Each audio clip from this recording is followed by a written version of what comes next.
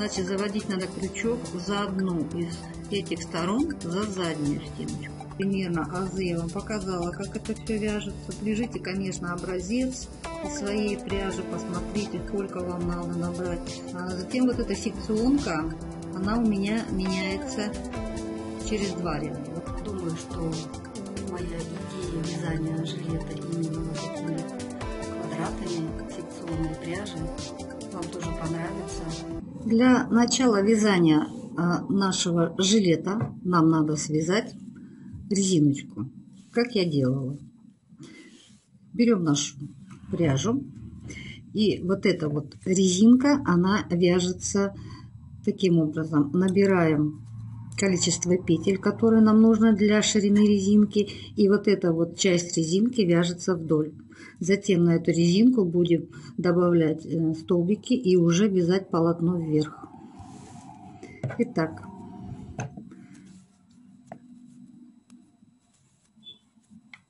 делаем первую петельку,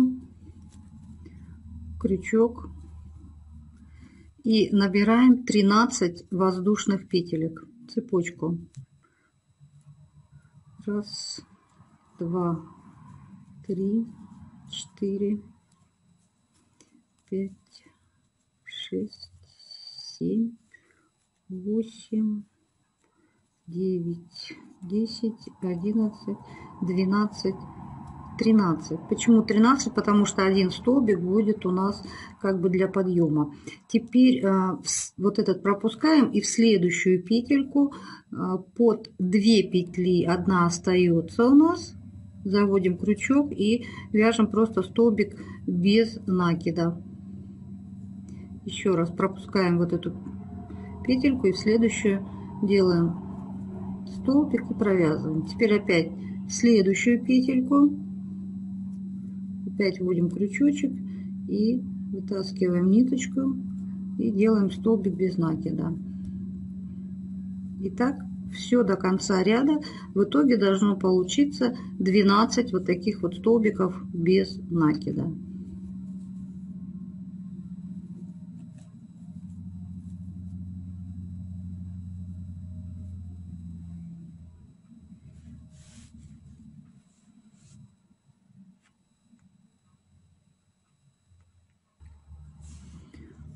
Заканчиваем последний столбик свой.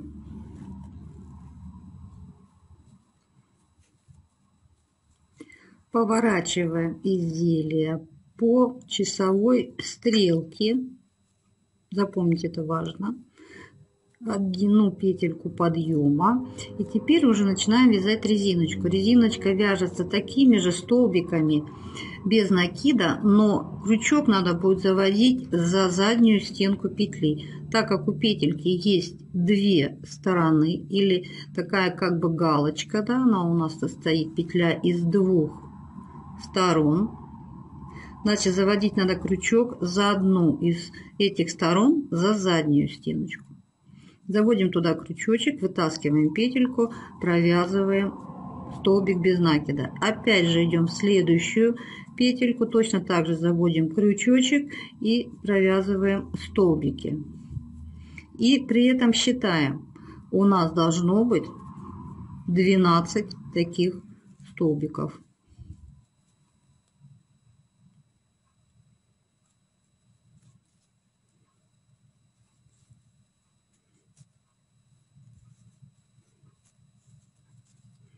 Первый ряд немножко как бы сложновато, да, он подкручивается, хочет выскочить из рук, но мы его будем все равно провязывать, чтобы добиться своего.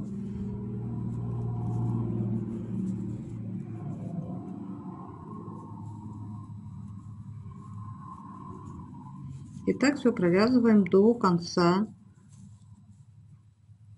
ряда. Видите, она такая вот хочет помешать она хочет. Ну ничего, ну не тут-то было. Итак, аккуратненько, не торопясь, провязываем этот рядок до конца.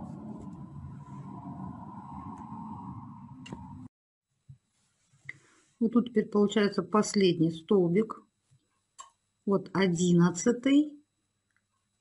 И теперь двенадцатый надо вот здесь, где у нас был поворотный столбик, вот здесь вот будет двенадцатый, то есть вводим прям крючок вот в этот поворот, где мы делали поворот, да, на обратную сторону. Вот прям сюда мы его заводим, но здесь мы провязываем вот так петелька, вот еще одна петля и вот заключительная. Опять поворачиваем изделие по часовой стрелке, делаем петлю подъема и повторяем то же самое за заднюю стеночку петли. Заводим крючок и начинаем вязать наши столбики.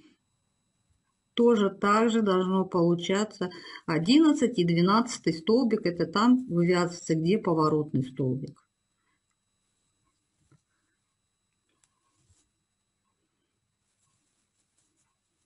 Почему надо их считать? Ну вот а, первые первые ряды, как бы, да, вот пока вы а, точно определитесь, да, сколько у вас столбиков, а, чтобы что-то не пропустить, чтобы край был ровный, надо периодически пересчитывать все свои столбики, которые вы начинаете вязать. Если где-то один столбик пропустите или там свяжете лишний, то полотно у вас будет неровным, то есть полоса вот этого, да, вот эта полоска, она начнет а, края какие-то неровности, могут быть что-то там пропущено где-то или еще что-то. Поэтому а, периодически считайте свои столбики туда и обратно. Они должны быть у вас одинаковое количество. Возможно, у вас будет не 12, может быть, у вас будет другое количество столбиков, но все равно, пожалуйста, пересчитывайте. Не забывайте, что вот здесь вот еще одна петля есть. Фокус поймался. Вот. И последний, это опять вот сюда в поворотный. Вот здесь поворотный. Так, фокус. Молодец. И здесь вытаскиваем петельку. И вот, и опять поворачиваем по лицевой, это, по часовой стрелке обязательно, чтобы, почему вот именно надо в одну сторону поворачивать, тоже, чтобы вот этот вот край а, был ровный. Вот видите, вот этот краешек, он вот этот вот край, вот если вы будете постоянно поворачивать в одну сторону, то вот эта вот цепочка, она и будет ложиться постоянно в одну сторону. Вот. Сегодня фокус у меня странный. Хочет ловит, хочет не ловит. Это, наверное, от того, от количества пряжи и разнообразия цветов, которые сейчас вы видите на экране. Итак, опять повернулись, да, по часовой стрелке, повернули изделие, подняли одну петельку подъема и опять тут же за заднюю стеночку подхватываем петлю и считаем. Раз, два,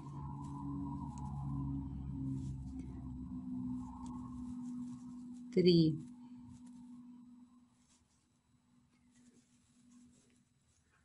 четыре, пять. И так далее.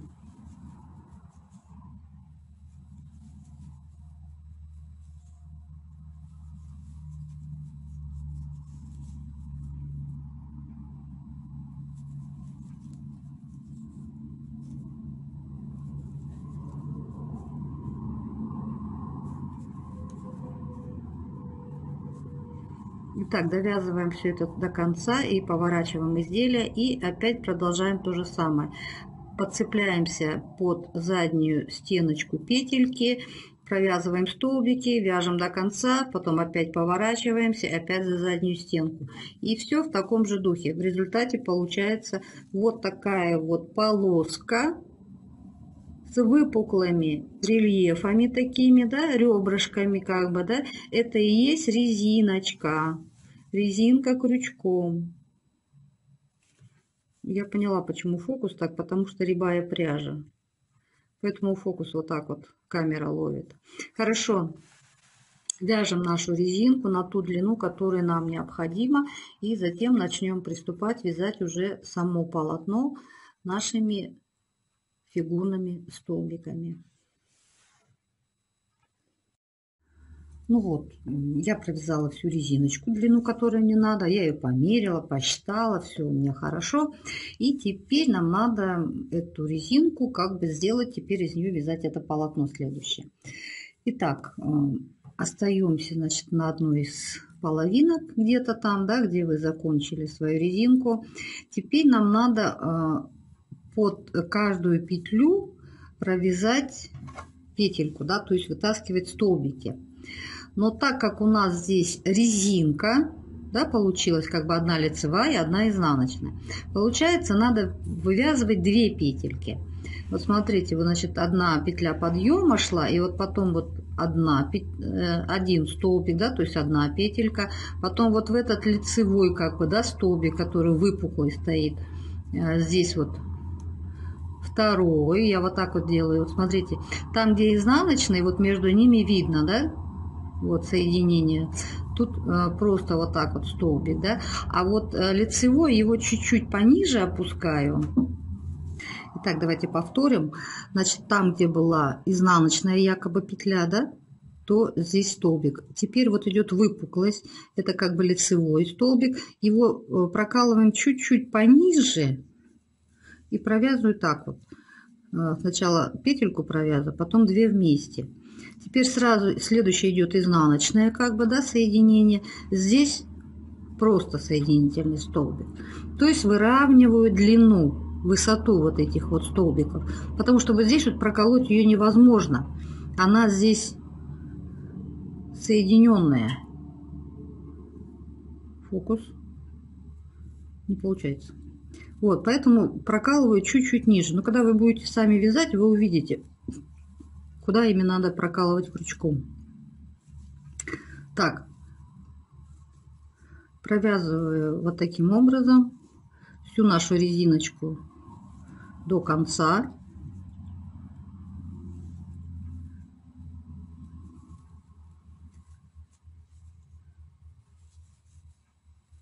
И затем уже дойдя до завершения, потом переворачиваем на изнаночную сторону и вяжем э, в обратную сторону все столбики с накидом. Вот, вот здесь вот смотрите, потому что а, сейчас мы вяжем вот эту часть соединительную, да, как бы от резинки к полотну. Затем на обратной стороне мы вяжем столбики с накидом, с одним накидом. И уже следующий уже ряд, уже будем распределять наши столбики на по 5 значит, столбиков в каждую клеточку и будем вязать фигурным столбиком наши узорчики. Итак, заканчиваем работу. Сначала одну сторону провяжем, затем перейдем на следующую сторону. Так, я провязала второй ряд столбики с накидом. Теперь, согласно узора, у меня на лицевой стороне на, на одной половинке, да, у меня здесь 14 как бы квадратов по 5 столбиков в каждом квадрате. Значит, получается, если у меня, давайте посчитаем, 14 квадратов умножаем по 5 и плюс 2 кромочные, у меня должно быть 72 петли или 72 столбика. То же самое я и набрала на ну, здесь вот у меня получилось от начала и до конца вот эти вот 72 столбика. Получается 2, 2 столбика кромочных с одной стороны, с другой стороны. Остальные все столбики пойдут на узоры. Теперь насчет пряжи. Значит, дополнительно это серая пряжа, которые столбики вот эти вот серенькие. И теперь вот эта вот цветная пряжа, да, идет. Здесь у меня вот смотрите, здесь, значит, красный, потом как бы цвет меняется, переходит в коричневый, и потом светлее, и опять потом начинается он как бы цвет менять, да? Вот такие цвета. Это у меня секционная пряжа, девочки. Это я не меняла, это у меня такая секционная пряжа. Вот такой вот моток. Это секционная пряжа от Нака и называется вальс, по-моему, или вельс, как правильно называться, не знаю, этикеточку я вам потом поставлю, э, если я ее не забуду. Итак, надеюсь, что нет. Обязательно покажу, какая то пряжа. Теперь, значит, э, отмотала я ту длину секции, которые мне надо, да, вот смотала в клубочек, чтобы у меня спинка и перед шли одинаково. Почему я не вязала по кругу? Если бы я вязала по кругу, то вот эти вот секции, они бы переходили резко от яркого к темному. То есть, смотрите, вот один ряд я вот провязала, она у меня вот ярко, да, красная. Э, второй ряд чуть-чуть потемнее. Третий ряд еще темнее. Если бы я вязала по кругу, то вот этот ряд у меня бы ушел на спинку. И вот в этом ряду у меня бы сразу была бы вот эта темно-коричневая. Поэтому я схитрила, как бы, и вот эти половинки вяжу теперь отдельно. Это все зависит от вашей секционной пряжи, или, может быть, вы будете брать пряжу, которая, ну, отдельная, то есть отдельно красная, отдельно серая, отдельно коричневая. Смотрите, это по вашему усмотрению. Теперь давайте еще один вариант, момент не упустим, чтобы мы знали. Значит, это, значит, передняя часть, теперь это вот спинка, да, вяжется. Теперь нам надо начать вязать а, начало узора, чтобы потом при сшивании у нас а, были квадраты. Серый темный, да, и значит здесь должен быть светлый квадрат. Значит, значит, так, что-то я тут, сейчас минуточку, я тут довяжу, у меня немножко распустилось.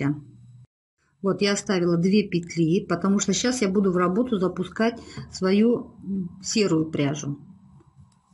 Также будет.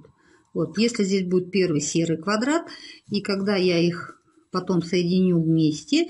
У меня здесь на этой стороне будет темный квадрат, а здесь будет серый квадрат. Поэтому две петли пока не закрыла. Беру серую пряжу, запускаю ее в работу, провязываю вот эти две петельки вместе серой пряжи. Кончик немножко как бы подкручиваем, чтобы он не потерялся сразу. Потом мы его закрепим, конечно. И вяжем ну, подъем, естественно. Это как бы кромочный столбик идет. И теперь вяжем 5 фигурных столбиков. Значит, в следующий вот столбик заводим крючок, вытягиваем петельку, провязываем ее, потом провязываем накид и провязываем 2 вместе. Это один столбик. Идем в следующий, опять заводим крючок сзади, под столбик и провязываем фигурный столбик. Это называется фигурные столбики. Вот, три. Теперь вот это вот у нас же будет следующая серая нитка идти. Я ее сразу как бы э, продергиваю сзади.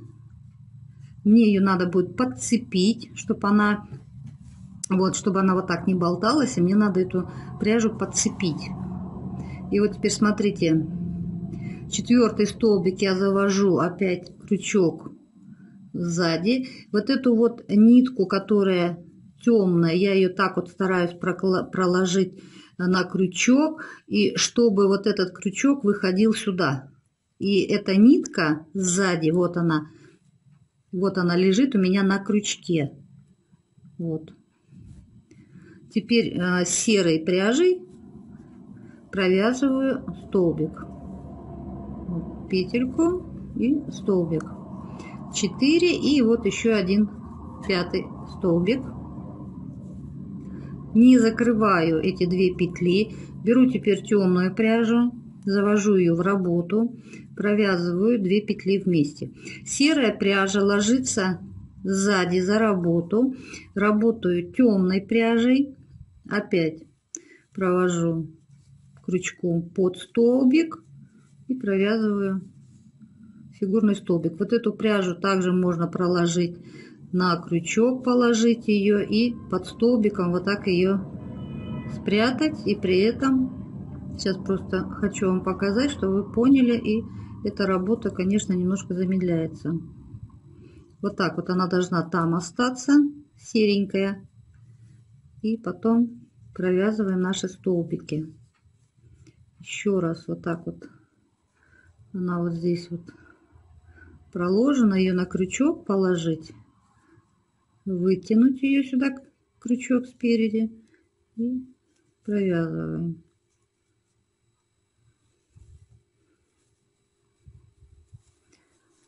Так, третий.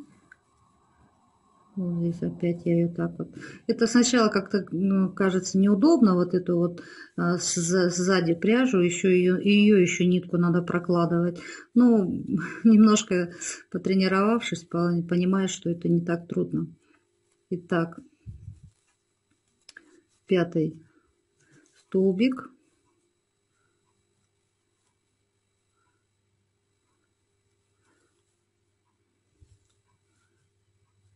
Если она вышла, ну ее подтяните назад.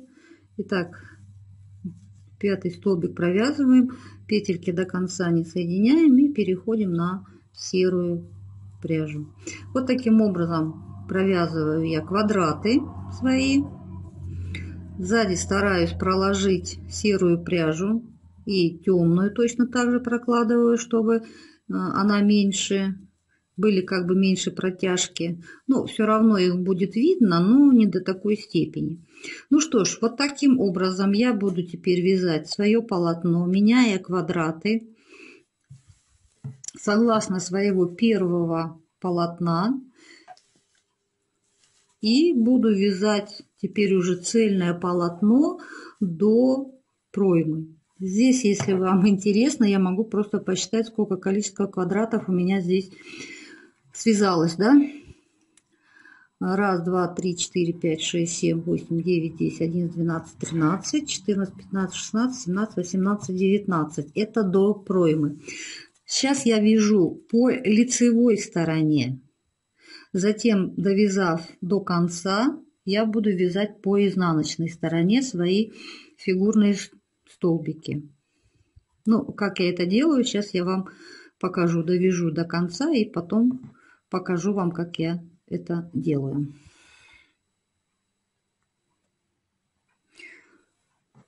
Довяжу до конца, вернусь и по изнаночной стороне покажу, как провязываются фигурные столбики уже с изнаночной стороны. Так, я дошла до конца. Все получилось правильно. Здесь, значит, серенький квадратик. Здесь у меня закончился темным квадратом. Теперь переворачиваем на изнаночную сторону. И по изнаночной стороне вяжем тоже фигурные столбики. Так, чуть-чуть камеру. Тоже фигурные столбики, только уже крючок заводим с обратной стороны. Три петли подъема, накид. И теперь вот мы же вот так заводили, да? то теперь надо крючок просто завести в обратную сторону. Вот так.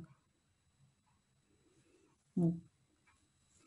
И вытаскиваем петлю, провязываем, затем петлю с накидом и две вместе. Еще раз накидываем. Вот он столбик. Заводим крючок вот таким образом чтобы он был, чтобы головка крючка была на правой стороне.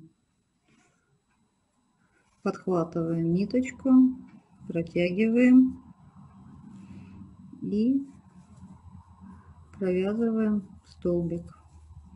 Еще раз накид, заводим крючок, головка крючка на правой стороне, главное смотрит, подхватываем ниточку, Хочу показать вам помедленнее, чтобы вы запомнили. Кто еще не умеет, вытаскиваем петельку, ее провязываю, потом провязываю накид с петлей вместе и две петли вместе. Так, это у меня была первая кромочный столбик, затем три, теперь четвертый, пятый.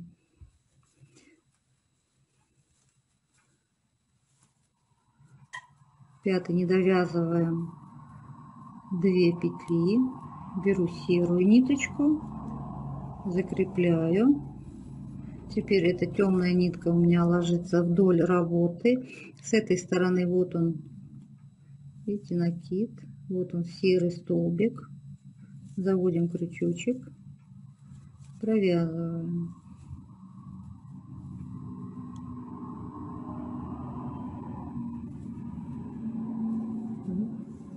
еще раз. Ну, теперь вот его отсюда тоже видно. Вот эту темную нитку можно ложить вот так вот вдоль.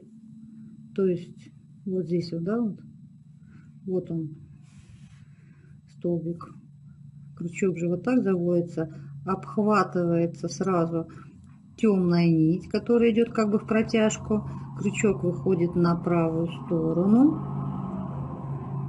Поддеваем нитку, провязываем ее, потом накидом и два вместе. И вот эта вот ниточка темная теперь ложится вдоль. Вот так вот ее. Вот она. Я понимаю, что плохо видно, серая нитка, но, увы, другого варианта вам показать нету возможности.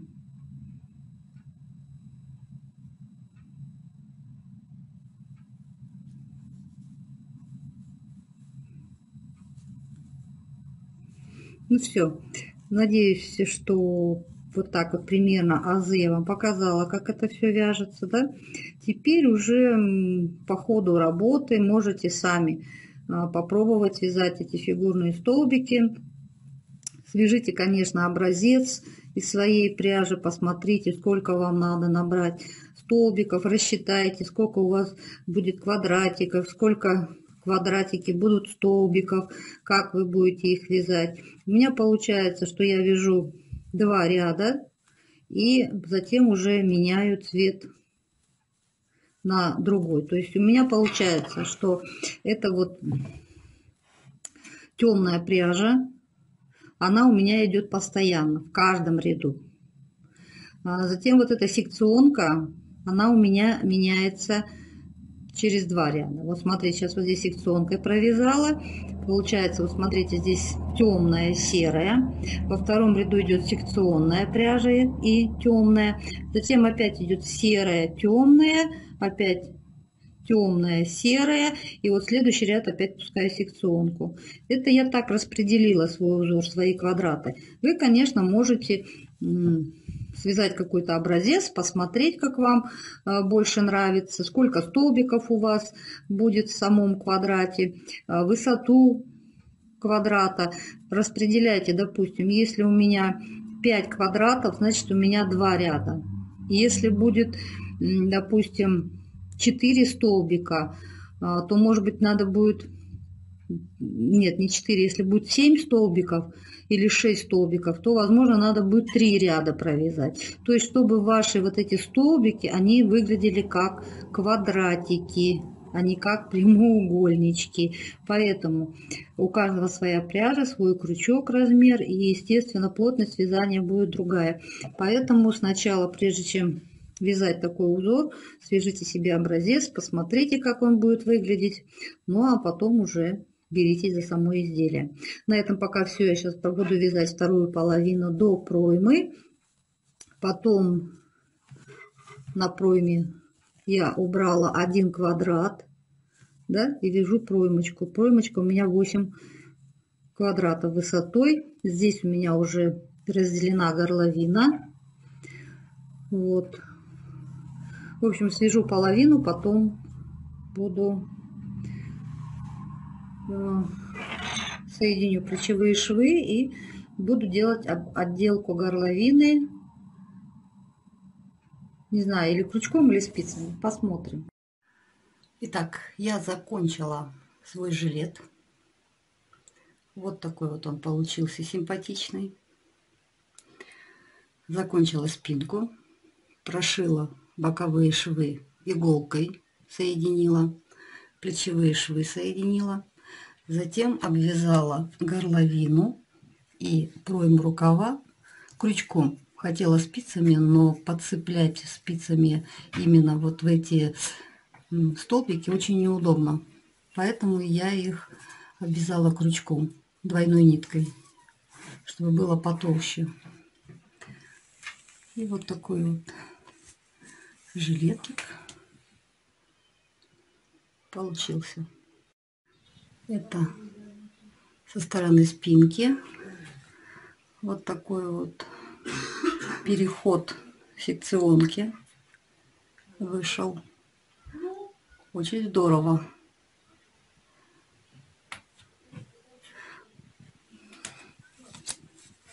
неудобно будет показывать на столе, потому что в камеру не вмещается, поэтому вот так вот повесила. Вот смотрите, что у меня получилось. Думаю, что моя идея вязания жилета именно вот такими квадратами секционной пряжи вам тоже понравится. И вы свяжете что-нибудь себе красивое, оригинальное и лучше, чем у меня.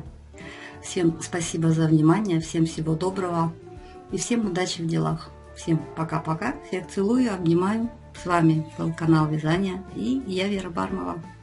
До встречи!